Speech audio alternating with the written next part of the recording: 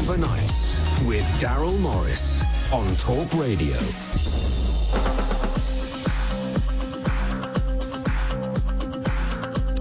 Hello, good morning, quarter past one, Talk Radio. My name is Darryl Morris, 03444 499 1000. Say get in touch, talk and then your message, 87222. Let's bring in uh, Kwame Knight now, who is a broadcaster and a presenter, has his own events business to take us through what's on his mind as we step out of the weekend. Kwame, hi there. Hey, Darryl, how are you? I'm very well, sir. Welcome along. This is the first time I think that we've um, uh, that we've spoken, isn't it? So this is, uh, this is, a, this is a, a joy for both of us. I, I could say, perhaps. It is indeed. Okay. Especially on Magic Monday as well, isn't it? yeah. Indeed. Listen, we've got a lot to talk about. Um, uh, I think Yeah. it's probably uh, right and fair that we start with the violence uh, in America, Kwame, and, and obviously we, we watch on from some distance really on, on, on this story. Um, it's hard to digest, really, isn't it? It's yeah, it, it's really unbelievable um, to to witness and to have seen what's what's happened. I mean, it it was filmed, um, and I think that's what's caused the absolute horror to be able to watch, you know, on social media a video for, for nine minutes of, of somebody essentially dying. Yeah. And then, of course, this story has um, has escalated somewhat, Kwame, in the last uh, in the last couple of days. Um, I'm just wondering, you know, you, we, we watched the, the rolling news footage of, of these protests happening, uh, I think 75 cities around uh, the United States of America, several over here as well. And and I just I, I I am utterly unsurprised. This this was my take, uh, Kwame, just now, is that I, I don't I don't feel in the least bit surprised that this is where we are where, where we're at. Well, yeah, I, I, I definitely have to uh, agree with you. This has been something that, you know, it happened, what, six, seven days ago now, and nothing was done uh, to the officers. And this has been tension that has been bubbling, and I think we've now seen it overspill onto the streets uh, of America, and like you said, in, in 75 cities now. Yeah, and, and my, my sense, uh, I don't know about yours, but my sense is that, that this is this has never really gone away. Um, it's never really not been a problem, and the the the, fl- the, the flames of it continue to be fanned uh, in in various parts. I just I, I wonder if you would agree with that. I definitely would. I mean, I remember, you know, going back 28 years now, we're talking about, when um, Rodney King, um, his um, brutal beating was uh, captured, uh, and that sparked the LA riots. So this is something that has definitely been um, bubbling underneath the surface for quite some time, um, and it seems to go uh, and then come back again. And, and now we've seen it with uh, the George Floyd ca- uh, case. There's a brilliant quote from uh, from Will Smith, uh, Kwame, that I mentioned earlier on, where he said that um, that racism isn't getting worse; it's getting filmed. I mean, that's that's so true. Um, I think obviously with the advent of social media, it's definitely more prevalent than it has been than before. Um, but yes, it's definitely being broadcasted to people that probably never would have known it was happening, never um, have, have, noted it was happening, and, and now it is definitely much more prevalent um, to the general public. Yeah.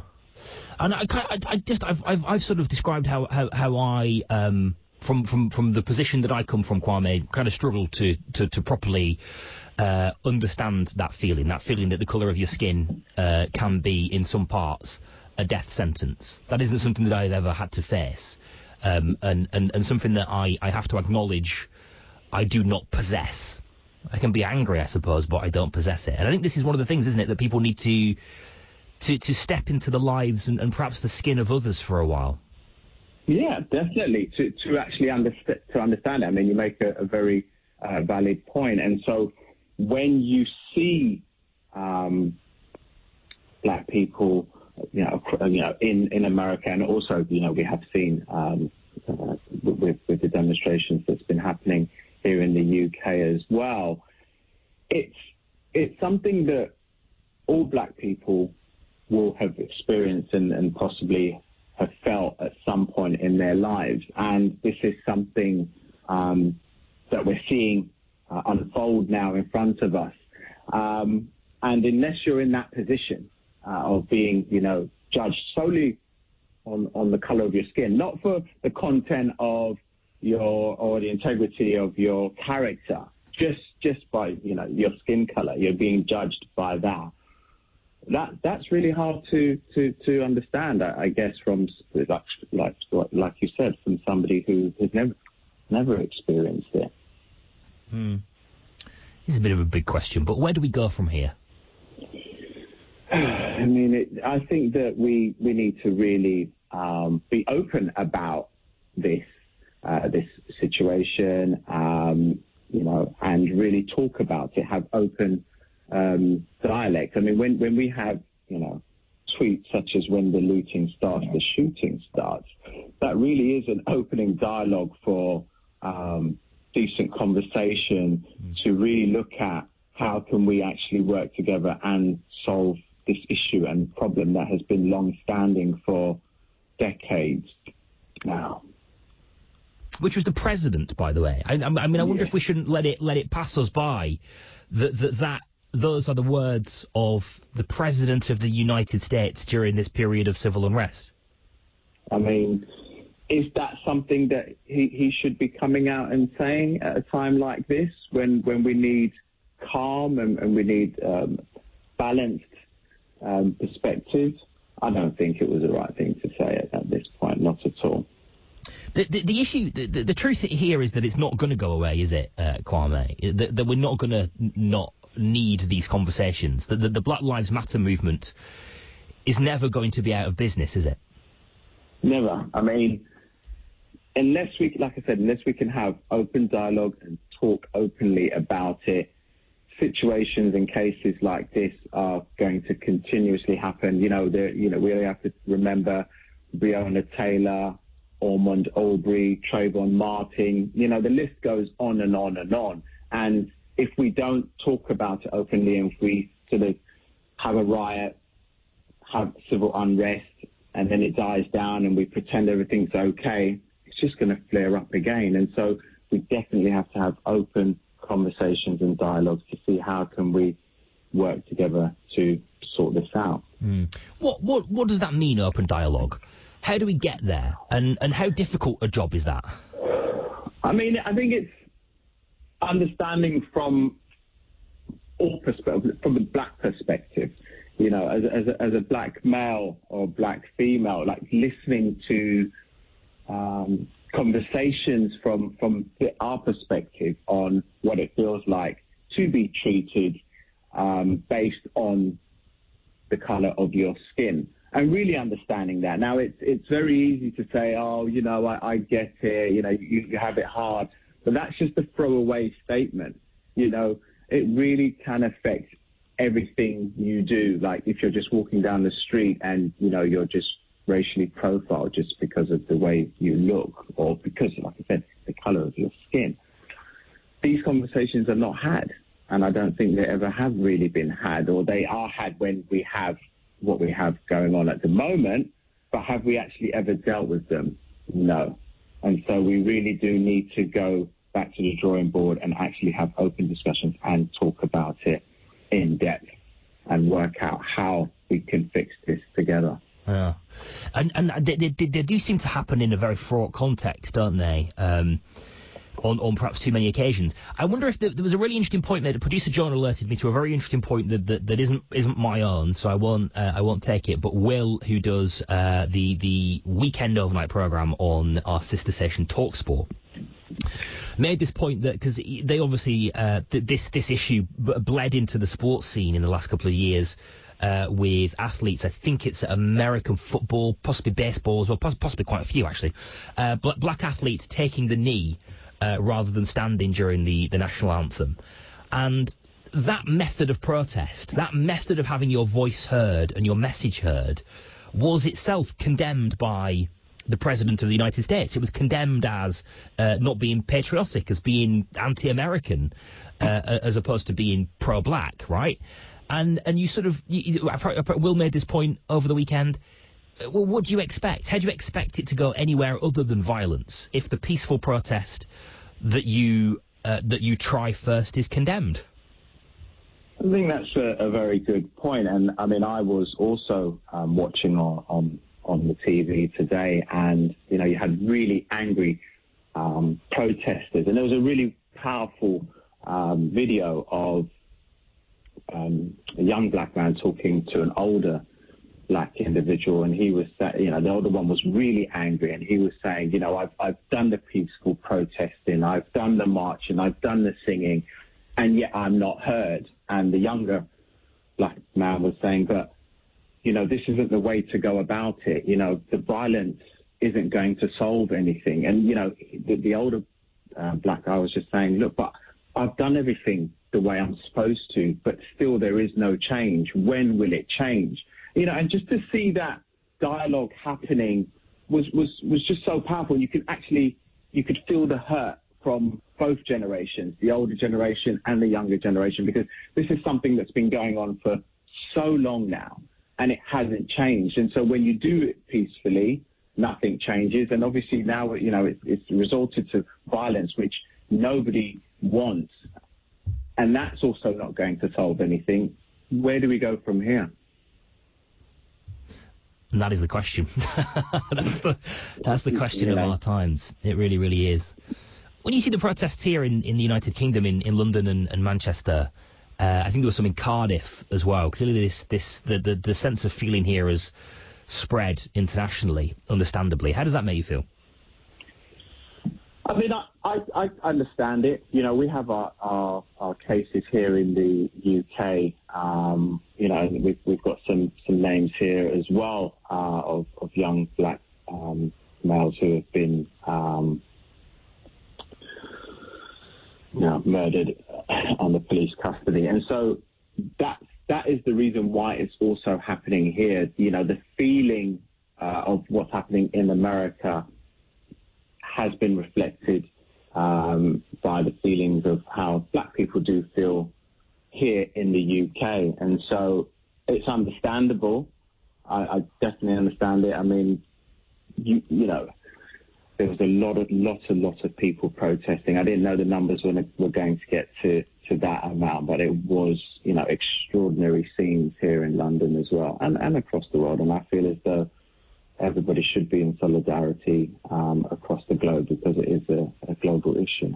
Yeah, sure. Um, we're, to talk more about this after two this morning. John Mysek uh, is our man in the United States of America. Every Monday we speak to him.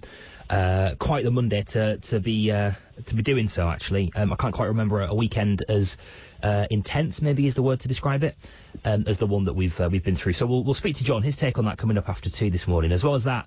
Kwame, it's also Magic Monday today apparently. I'm not quite sure how magic you're feeling, uh, but some schools some schools are going back today. Some schools, I think it's worth saying, uh, very much the asterisks there. Uh, groups of six can meet from today, although I think that social media um, and Instagram and Facebook has, uh, has, certainly demonstrated that that's already happening. Um, a flurry of announcements. Some of the businesses, sports returning, unexpected announcement about some of the most vulnerable being able to see uh, one person. Just um, as a feel Kwame, how, how, how does it? How, how, are you feeling? Are you feeling magic about it? I mean, it's. It, am I feeling magic? That's a good question. I mean, it, it feels like it's just come out of the blue. I'm, I'm not going to lie. It feels like it's like everything's being. It feels rushed. It's like let's get back to school. Let's get you know some businesses started. Let's start some sports activities, and now six people can meet up. I mean, it's. It was only last week we were told you know, you can't go out and, you know, you, you shouldn't, you know, visit relatives and you shouldn't congregate in groups. And all of a sudden, we're like, get out, get back to school. I mean, my kids have, you know, uh, have been told uh, they'll be going back to school. I've got my daughter who's in year um, six and, and, and my son who's in year one. So they've, they've both been asked to come, come back to school. Now, how do I feel about that? If the government are saying it's okay, then I think it's it's the right thing to, to do. I mean, they've been home for 10 weeks now. It's a long time. Um, and as much as I love them, it is time for them to go back to school. That's really interesting, okay, because 46% of parents, uh, Kwame, have said that they, they are not going to send their kids back. Um, it looks as though just, uh, uh well, uh, uh, just over half, really, um, of those people who are being asked to go back are actually going to go back. But you're not in that 46%. No, we're not in that 46%.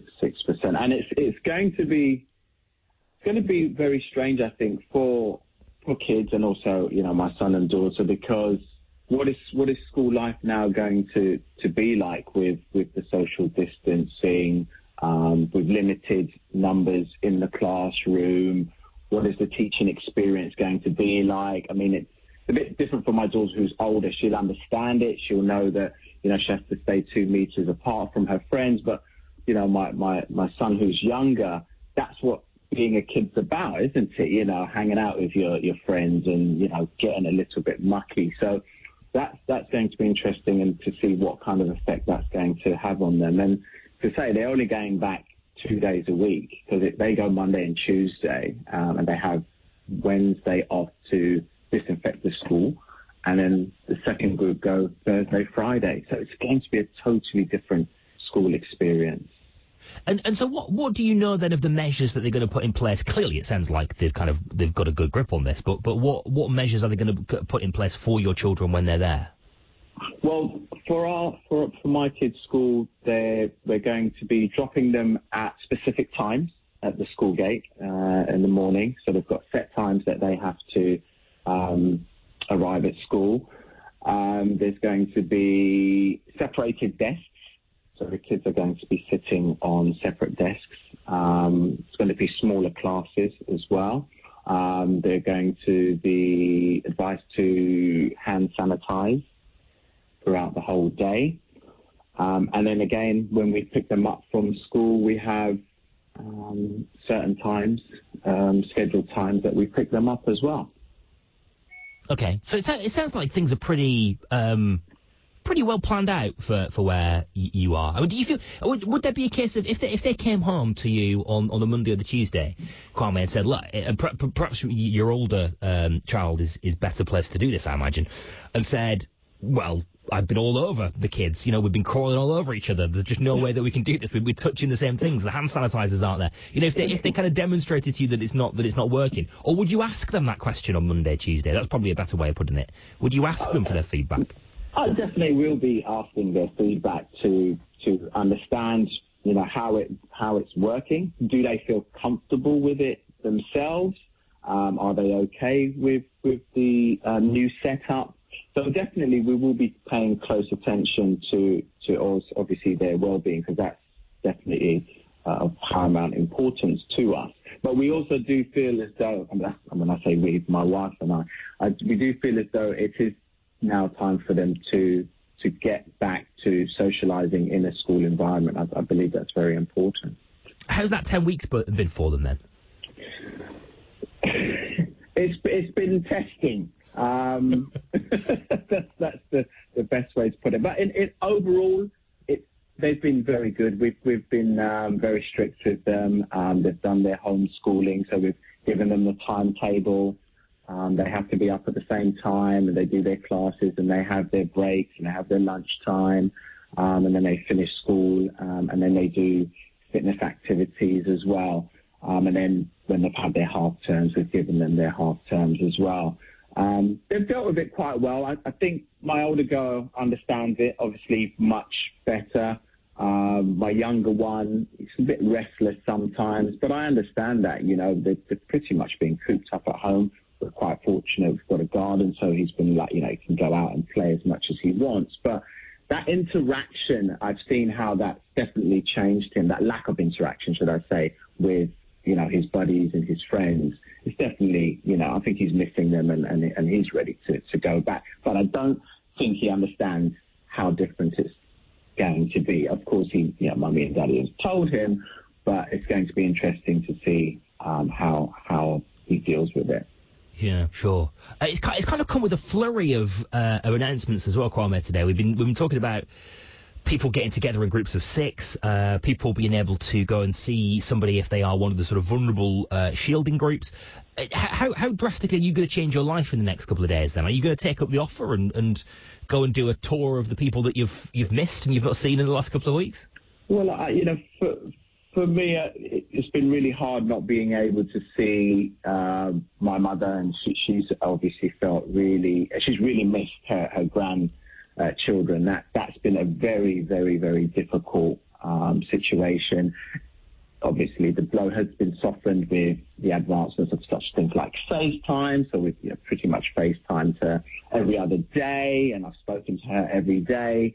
Um, but it's not the same. And so I think that now that we are able to go and, and visit her, she's going to be uh, over over the moon and ecstatic about it. So we definitely will be will be doing that. But I think that having barbecues and what have you not might be a little bit too early. Well, it's a really interesting point, isn't it? Because um, I, I, must have I was kind of taken aback slightly at the end of last week when just ahead of this really sunny weekend that we've had, we've we've decided to frame um, the the loosening of this lockdown as a chance to have barbecues. I mean, rather than saying this is an opportunity for you to get together with six other people, so it might be a nice chance for you to responsibly reintroduce yourself to that family that you've really badly missed over perhaps a takeaway cup of tea in their garden.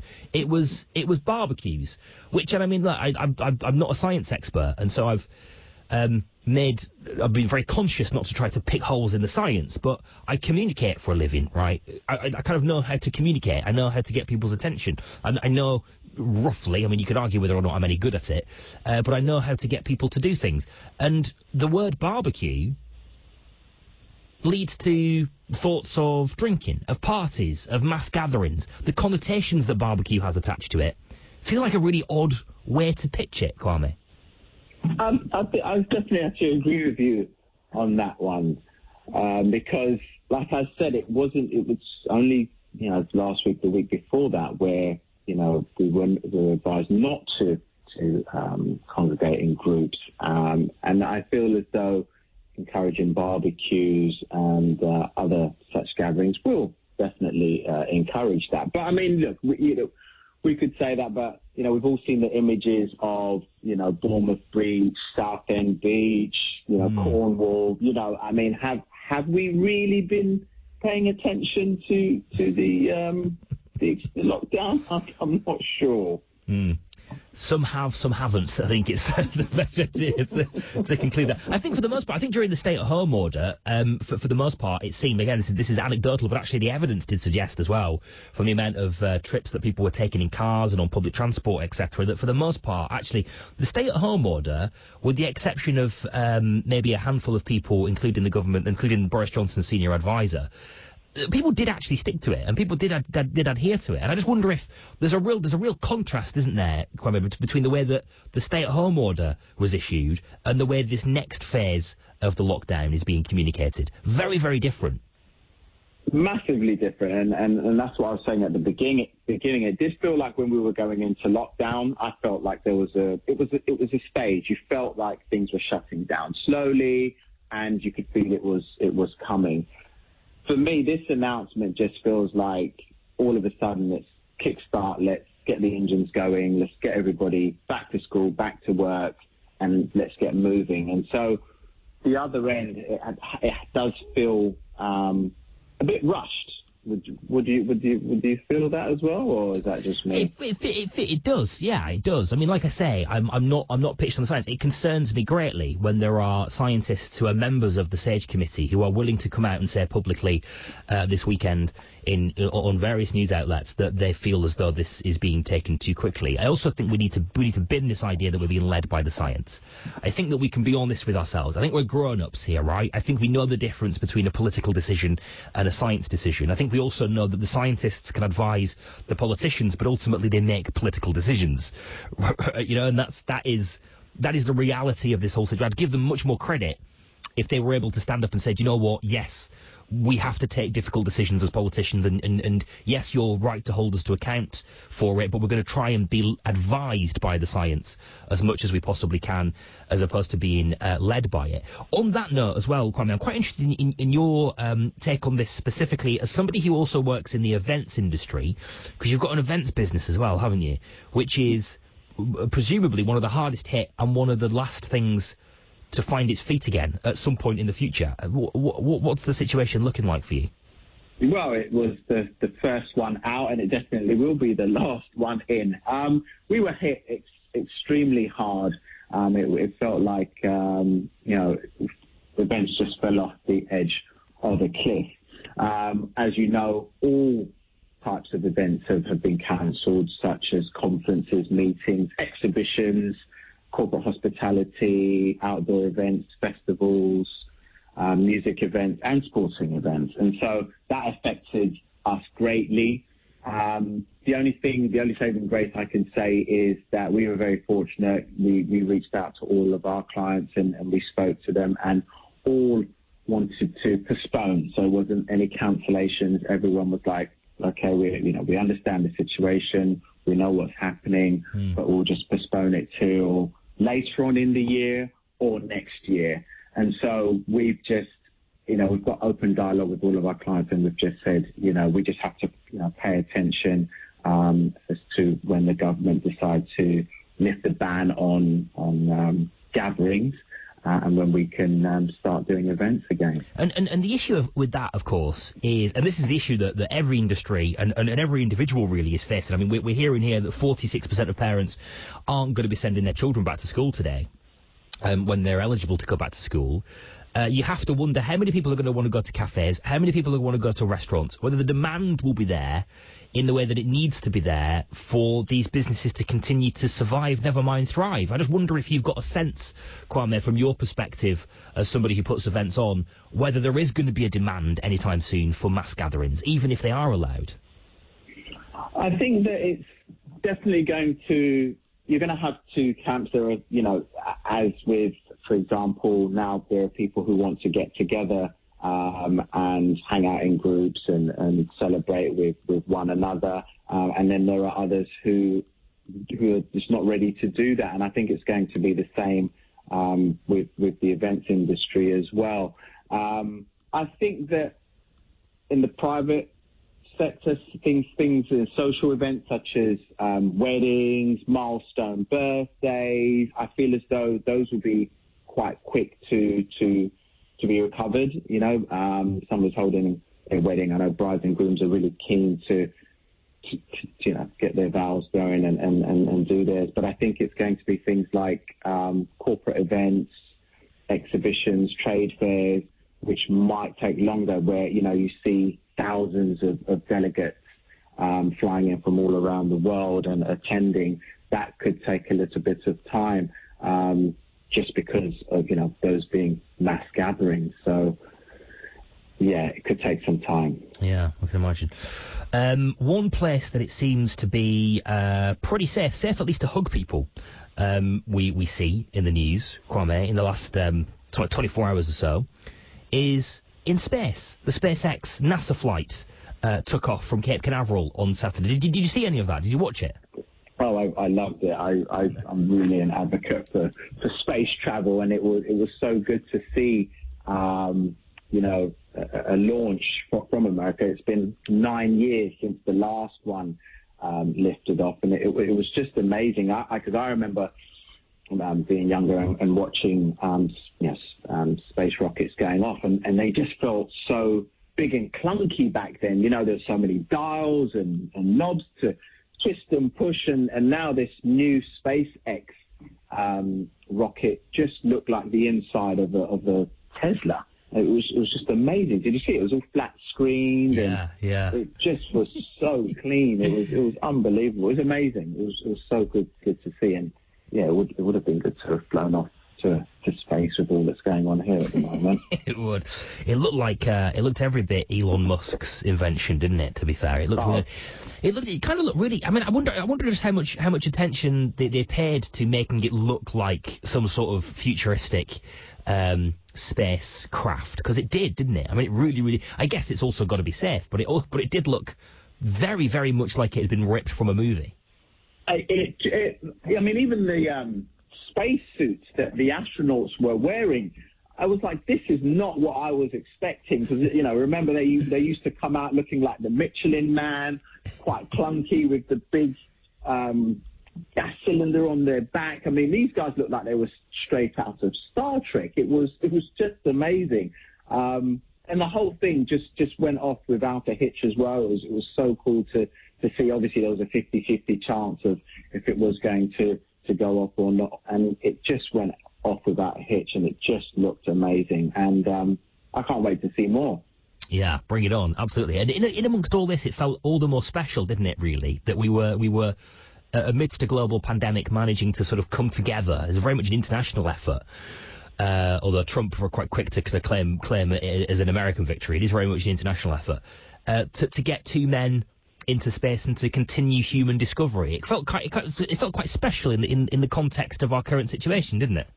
It felt really special, and and to you know we have to remember they're going to the International Space Station where there are astronauts from all over the world who are working in um, synergy and unity above the planet, regardless of what's going on down here. And so it shows that we can work together. And I think that's definitely uh, very symbolic in, in a time like this when there is so much unrest and, and um, uncertainty um, around the globe at the moment. Yeah, quite, absolutely. Um, hey, Kwame, I think it went quite well our first outing together. It was awesome. Okay, you don't sound overly enthusiastic, but no, never mind. No, no, okay. no, no. it's all right. Message received, Kwame. Message received. no, no, it was great to be be here. Darryl, I really appreciate it, and um, we should do it again very, very soon. I think so. I think whether you agree, I don't know, but we'll. I, I think so. Uh, Kwame, really nice to talk to you. Thank you very much. You Take care of yourself and good luck with the business. I hope it goes all. It all sort of comes together for you. We're willing you on. Thanks very much. Really appreciate that, Darryl. Take care, mate. Kwame Knight with us Take this care. morning. Take care. Uh, presenter and broadcaster and events host as well. Uh, with us on Talk Radio this morning. His take on what's going on.